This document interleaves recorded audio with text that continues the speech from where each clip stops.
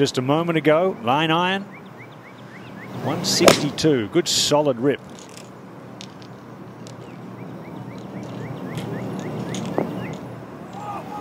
And it's a one for Kang. Played a lot of golf here with Danny Lee, and that is unbelievable. One bounce and rolled in. Shot of the day for sure there for Sung Kang.